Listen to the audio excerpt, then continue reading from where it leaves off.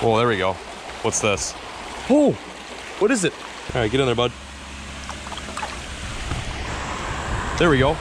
What the hell? Oh my gosh. Oh my gosh, what is this? Holy moly.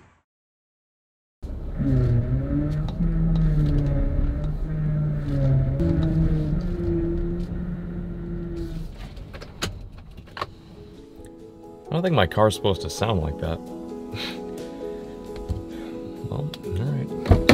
I don't know what's going on with the, uh, the blue buggy, but something is, uh, something seriously not right. I think it's something to do with power steering. I don't know, but every time I come to Illinois, something breaks. Actually, matter of fact, this is not the only broken thing that I discovered today. My boat is having some issues right now. Like one of the hydraulic fuel hoses exploded for whatever reason. I don't know how it happened, but it legitimately exploded. Here's a picture of it. Um, it got like so big, it turned into a bubble, and then eventually, of course, it it popped. Long story short, can't wait to leave Illinois because uh, it seems like every time I come here, something goes bad. But that's not what the focus of today's video is about. Today, we're gonna be fishing a pretty dope little spot. It's actually a spillway that is uh, connected to one of my favorite lakes I like to fish here in Illinois. I have got two rods with me, a ultralight topwater and an ultralight finesse setup. We're just strictly going on a species mission today. I hope to catch some bass, but basically if anything bites my lure, I will be stoked. So I'm gonna grab these here two rods, some tackle, and we're gonna give it a good old solid rip. Stick with it, stay tuned, and as always, enjoy. Okay, here we go. Go get them. It's a little spot, but it's a pretty cool looking spot. It shouldn't take too long to fish. Wow, it's ripping. We had way more rain than I thought. It is coming out of this thing. Ooh, I already see some, oh, that's a little smallmouth right there. Oh wow, there's a ton of little fish. My chances of catching a nice one right now are pretty high with all of this rain. So I'm gonna start off with a, uh, I don't know, what am I gonna start off with? I don't know, let's just, let's just, go, let's just get in it. Okay, first cast, going in. Here we go. There's one. Oh yeah. Ooh, it feels all right. First fish. Dude, this thing is pulling. What is, oh, it came off. What was that? I think it was a bluegill. That thing was fighting so hard. There's fish down here. I have no idea what that was. I'm really curious. Come on. Oh, I just got hit. Big bite. There he is. On again. Second cast, second fish. This thing is fighting good. What is this? Oh, wow. Oh, not a bad bluegill. First fish of the day. Hell yeah. nice little bluegill. That thing's pretty healthy for a little creek like this. All right, get in there, bud. First catch of the day, nice little just regular ordinary bluegill. Got some really sick colors. I noticed when I caught that fish, he fought really hard and I think that's probably because these gills and these bass in here are so used to fighting current all day long that they've just built up that muscle and that energy.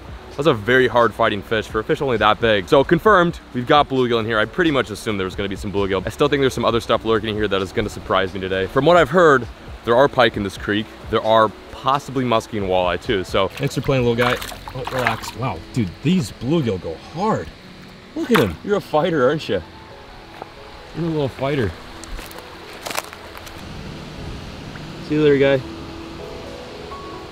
There he goes.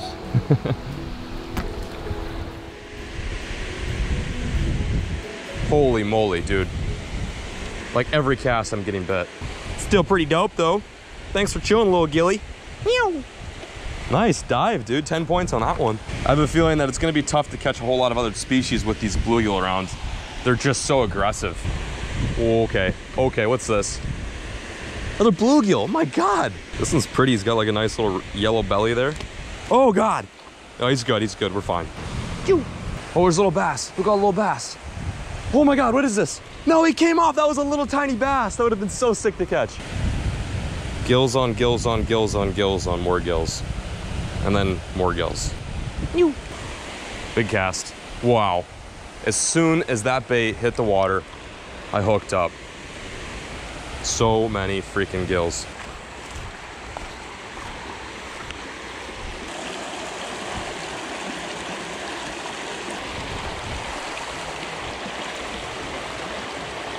Oh, I had one.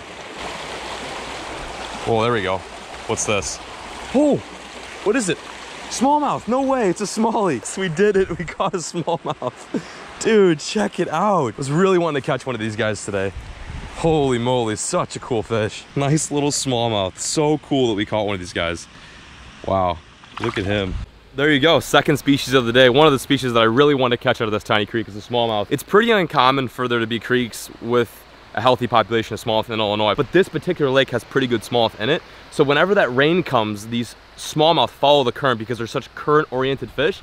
And of course, they get sucked down through that little fish slide there. Totally harmless, it doesn't hurt them. They drop down in the creek, and then this is like their new domain, their new home. Here's something else that's really interesting is I'm not sure if you noticed or not, but when I caught this little smallmouth, he was pretty much pale and completely bronze, but when I put him in the tank, he's now got these extremely dark patterns. Smallmouth, among a lot of other fish species, also change color when they're under stress. That's kind of like in layman's terms way to put it. I know there's probably more scientific way to explain why they look that way when they're put inside of a live well or a tank he's like fully patterned out. I'm not gonna lie, I don't see small that tiny that often, and to get one to change his colors uh, that quickly is pretty dope. I, have not seen one change colors that fast. Like with the bluegill, we're gonna put him back and send him on his way into the little creek. Thanks for playing, little dude. Such an epic fish. Look at that.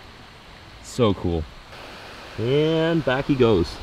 It's kind of funny catching these guys in the miniature version. I'm so used to catching bigger smallmouth than that. It's neat to kind of hone in on the tinies because they're so pristine, they're so pretty. They've got like you know, no gashes or scars on them. They're like the perfect fish, essentially. I foresee us catching a largemouth today too, um, but I'm noticing that there's some deeper water at the end of this riffle, so I'm just gonna keep casting. We'll see what you can find. Oh, just got a bite. He's on, fish on. What is it? What do we got? What do we got? What do we got? Oh, new species. Hell yes. Dude, this is sick. All right, let's put this guy in the tank too. The third fish and the third species that we caught today was this little green sunfish, very close related to the bluegill that we caught in the beginning of today's video. But also, it is in the same family as the smallmouths. It's a Centrarchidae, which means, uh, you know, it's in the same family as like a crappie, a bluegill, a bass. They're all closely related. But uh, this guy's got a bigger mouth. They're oftentimes a little more aggressive than bluegill, and they're really pretty. They got like these electric uh, lightning blue stripes on their gills. Really cool fish. They get pretty big and I catch them a lot whenever I bass fish because they've got such large mouths. Third fish species, I actually didn't think we'd catch one these days. So that's like the first surprise on today's creek mission. Come here, little guy. Look at little Jimmy. He's like, put me back. Oh God. See you later, Jimmy. Take care.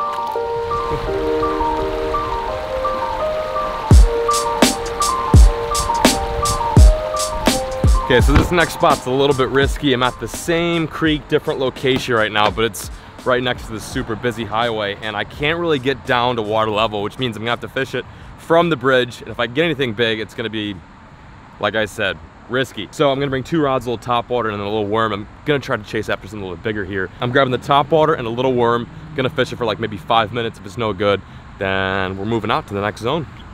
Gotta try it though, it looks really interesting. It's a little noisy, you'll just have to bear with the uh, traffic. But here it is, this is the creek.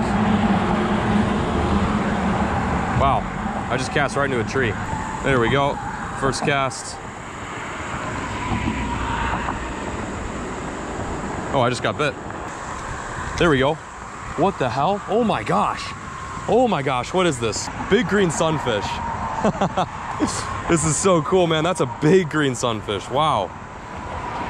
Illinois traffic right on Algonquin Road, and I'm catching fish. How sick is this? All right, going for going for the cannonball release on this one. Sorry, dude. Pew! Nice.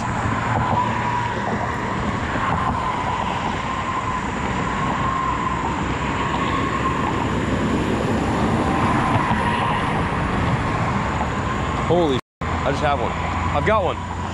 No way. Another green sunny. This guy ate my little uh, cicada lure. That lure is huge compared to this fish. Green sunfish cranked the cicada lure. I just threw right on that bridge and he came up and ate it. Very dope. Can't say I've ever really done that before. That's like traditional, that's like full on roadside fishing for you. I can't even hear myself think with this traffic. But anyway, I caught two fish. Not too bad.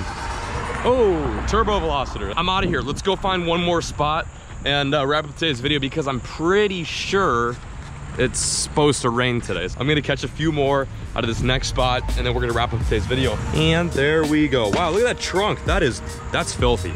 That is just disgusting. Why did I, who did that? That is terrible.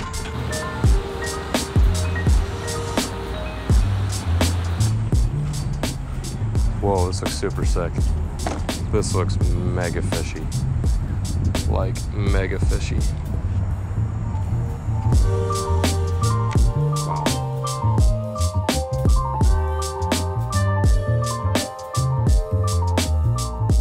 It going? Oh my God, you are Jon. Hey, how's it going, man? What's your name? I'm Andrew. Andrew, nice to meet you. Oh God, I, that's the second fishing YouTuber that I met in person. No, who's the first? Right on. You catch any today?